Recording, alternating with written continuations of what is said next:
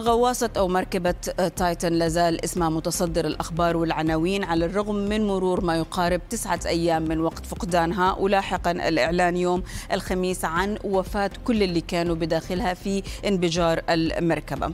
تايتن مركبة أو غواصة تابعة لشركة OceanGate بيعملوا فيها رحلات سياحية إلى حطام التيتانيك في المحيط الأطلسي على عمق 4 كيلو. تايتن انفقدت وانقطع الاتصال فيها بعد ساعة و45 دقيقة من بدء رحلتها وكان على متنها خمسة أشخاص. هم الرئيس التنفيذي للشركة اللي عملت الغواصة وملياردير بريطاني ومغامر فرنسي ورجل أعمال باكستاني وابنه المراهق. وبعد البحث أربعة أيام تم الإعلان ليل الخميس أنه تايتن انفجرت بسبب عدم تحملها ضغط أحماق أعماق المحيط.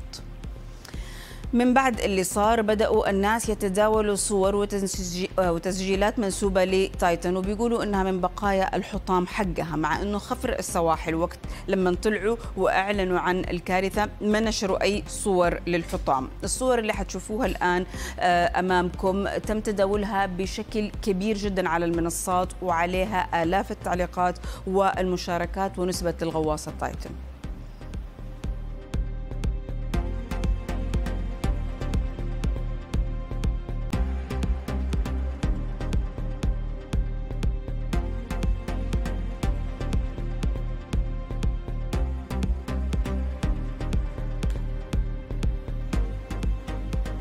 ولكن من بعد البحث والتدقيق فيها تم الكشف عن حقيقة الصور والحقيقة أن الصور مو من حطام تايتن الصور من بقايا صور لحطام أو حطام سفينة تايتانيك اللي غرقت سنة 1912 وحقيقة المفاجآت حول القصة لسه ما انتهت. فمن بعد سلسلة الأخبار اللي شفناها عن السلامة والأمن على متن المركبة والتحكم فيها ب joystick مثل حقت يعني البلاي ستيشن وبعدها ظهور ناس راحوا الرحلة قبل وتانيين كانوا راح يكونوا على متنها ونفدوا بجلدهم. بعد كل هذا اليوم في مفاجأة جديدة كمان.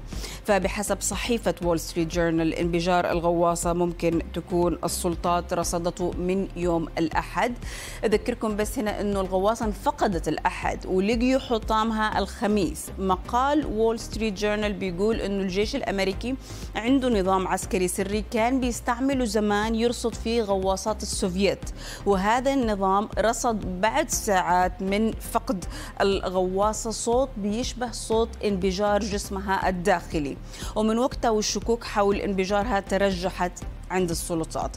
وهذا الصوت ومصدره ساعد في عمليات البحث وتضييق المساحة اللي بحثوا فيها والوصول للحطام في النهاية. ومن التطورات كمان الجديدة أنه خفر السواحل الأمريكي أعلن فتح تحقيق في الانفجار الداخلي لتايتن وأنه رح يتم تحديد سبب المأساة وتقديم توصيات للسلطات لمتابعة العقوبات المدنية أو الجنائية حسب الضرورة. وقال كمان أنه رح يتم عقد جلسة استماع على علنية لجمع شهادات إضافية من الشهود ومن بعدها رح يصدر تقرير بالأدلة والاستنتاجات عن سبب الانفجار ورح يتم تقديم توصيات كمان.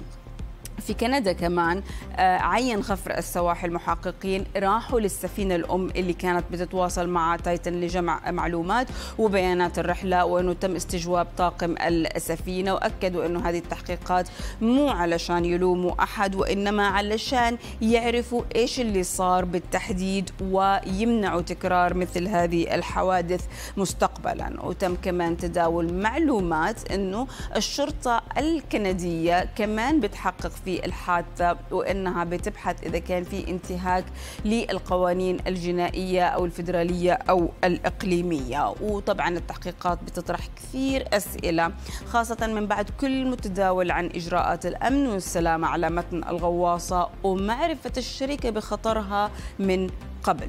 نعم. مؤسس ومدير الشركة المصنعة للغواصة واللي كان من ضمن ضحاياها هو من أكثر الناس اللي بيحوم الكلام حولهم خاصة وأنه له فيديوهات ومقابلات كثيرة بيتكلم فيها أنه على دراية تامة بخطورتها ووجود مشاكل في سلامتها.